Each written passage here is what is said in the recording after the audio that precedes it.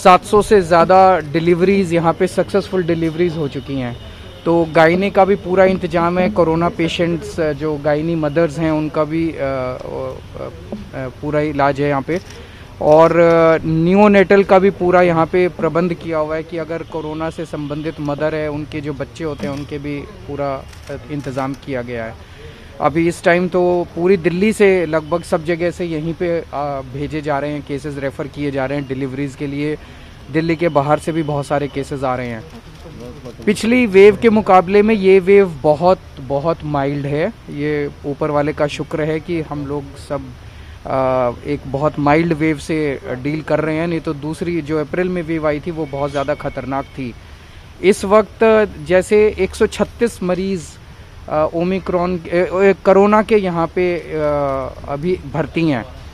मैं इनसे पूछ रहा था, इन 136 में से कितने पेशेंट्स हैं जो कोरोना का बीमारी लेके आए थे? जैसे कई पेशेंट्स हैं जो कैंसर के लिए कोई आया इलाज कराने तो उसका जब टेस्ट किया तो उसमें कोरोना निकल आया। किसी की हड्डी टूट गई, वो अपना उसके लिए आया, उसका इलाज किया, उसका चेक चेक किया तो उसमें कोरोना निकल आया। ऐसे कितने पेशेंट्स हैं 136 में से जो ये कह के आए थे, जी, मेरे को करोना है, मुझे करोना का इलाज कराना है।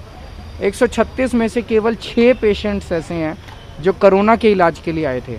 बाकी 136 में से 130 पेशेंट्स ऐसे हैं जिनमें इंसिडेंटली करोना निकला। वो किसी और बीमारी के लिए आए थे, लेकिन इंसिडेंटली करोना निकला।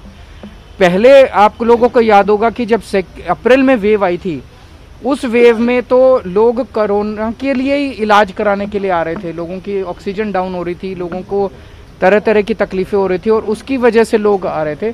ऐसे लोगों की संख्या इस बार बहुत ज़्यादा कम है। तो पूरे दिल्ली में आज जो दो, ढाई हज़ार के करीब लोग अस्पतालों में एडमिट भी है टोटल सारा मिला के। उनमें मैं समझता हूँ कि ऐसे लोगों की संख्या बहुत कम होगी जो केवल कोरोना की बीमारी के लिए अस्पताल में आए। मोस्टली इनमें ऐसे पेशेंट्स हैं जो कि इंसिडेंटली उनको कोरोना है।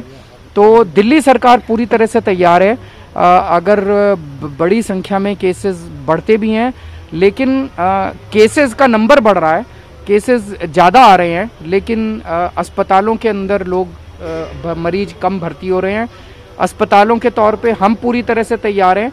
लेकिन कुदरत की कृपा है कि हम अभी इस वक्त लोगों की अस्पताल हॉस्पिटलाइजेशन की भी ज़रूरत नहीं पड़ रही और डेथ्स भी इस बार बहुत कम है। कल केंद्रीय स्वास्थ्य सचिव ने चिट्ठी लिखी है और तैयार करने को आईसीयू सब दिल्ली की व्यवस्था क्या है? क्योंकि उस लिहाज से भी अगर देखें तो उनका कहना है कि हो सकता है कि आने वाले समय में इसकी ज़रूरत पड़े क्योंकि हम मैंने जैसे कहा कि हम पूरी तरह से तैयार हैं। हम्म। ज़रूरत पड़ेगी तो हमारी तैयारी सैंतीस हज़ार बेड्स तक तैयार वो करने की है।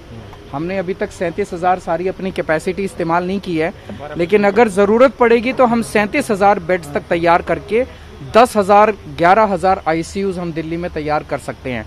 लेकिन अभी उतनी ज़रूरत पड़ नहीं रही है। एक सवाल और है अरविंद जैसे आपने खुद ने कहा कि 136 में से मरीज़ वो हैं जो कोमोर्बिड हैं और कोमोर्बिड होने के बाद उनको इन्फेक्शन यहाँ मिला। तो ऐसे में मौत भी उन्हीं लोगों की ज़्यादा हुई है। तो उसके लिए स्पेशली कुछ आप लोगों ने इंतज़ाम किया क्योंकि आज ऑर्डर भी निकाला है आप लोगों ने। नहीं, मैंने वही कहा कि वो लोग किसी और बीमारी के लिए इलाज कराने के लिए आए थे और इंसिडेंटली उनको कोरोना भी मिला। तो वो जिस भी बीमारी का इलाज कराने के लिए आए थे, उस बीमारी का इलाज तो हम कर ही रहे हैं। मान लीजिए कोई कैंसर का इलाज कराने आया, उनका कैंसर का भी इलाज चल रहा है और कोरोना का भी इलाज चल रहा है।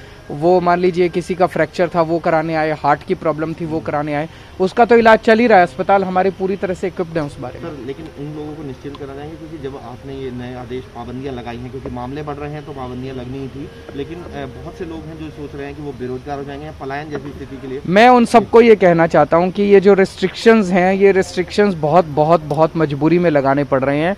मैं समझता हूँ इस वक्त हमारे लिए दोनों को बैलेंस करना बहुत डेलिकेट है। एक तरफ़ लोगों के रोज़गार पे बनी हुई है। अगर आप रेस्ट्रिक्शंस लगा दें तो लोगों के रोज़गार पे आ जाती है। और दूसरी तरफ़ अगर रेस्ट्रिक्शंस ना लगाएँ तो आपकी सेहत और आपकी ज़िंदगी खतरे में पड़ जाती है। आ, मैं आपको यकीन दिलाना चाहता हूँ कि रेस्ट्रिक्शंस को जितना जल्दी हो सकेगा हम उठा देंगे। और कम से कम समय में और कम से कम रेस्ट्रिक्शंस लगाने की कोशिश करेंगे। आप एक्सपेक्ट करें? क्योंकि एक्सपर्ट्स कह रहे हैं पचास साठ हज़ार पीक के टाइम पे आएँगे। आपको क्या जानकारी कोई भी कुछ कह नहीं सकता।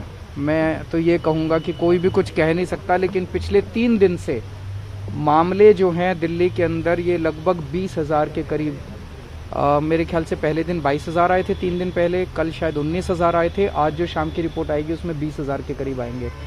तो बीस बाईस हज़ार के करीब मामले और चौबीस परसेंट पच्चीस परसेंट के आसपास पॉजिटिविटी रेट पिछले दो तीन दिन से चल रहा है। लेकिन इसका मतलब ये नहीं कि आगे बढ़ेंगे नहीं बढ़ भी सकते हैं। इसका मतलब ये भी नहीं देखते हैं let's keep our fingers crossed हाँ। लेकिन हम सारी इवेंचुअलिटीज के लिए तैयार हैं क्योंकि मैं जो बात सवाल में पूछ रहा था उसमें लोगों का ये डर है कि कहीं अब आप आ, इस हफ़्ते या आज लॉकडाउन लॉकडाउन नहीं लगा रहे चिंता मत कीजिए ये भी बात सामने आ रही है कि दिल्ली में तो रेस्ट्रिक्शंस हैं लेकिन आसपास की जो यूनिट है क्या ये मैं केंद्र सरकार से अपील करूँगा डीडीएमए की बैठक में भी जो केंद्र सरकार के रिप्रेजेंटेटिव्स आए थे हमने उनसे रिक्वेस्ट किया कि दिल्ली के अंदर केवल रेस्ट्रिक्शंस लगाने से काम नहीं चलेगा, आपको पूरे एनसीआर को कवर करना पड़ेगा। और उन्होंने आश्वासन दिया कि वो पूरे एनसीआर के अंदर इन्हीं रेस्ट्रिक्शंस को करवाएँगे।